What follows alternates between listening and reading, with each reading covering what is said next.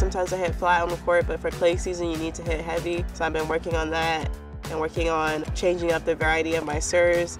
And yeah, that's basically the main thing you can expect for me to come for French Open.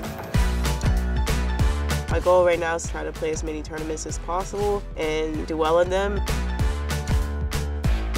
Also, I mean, the goal is to win every tournament you play, so I want to win French Open, but I still have a long road ahead of me.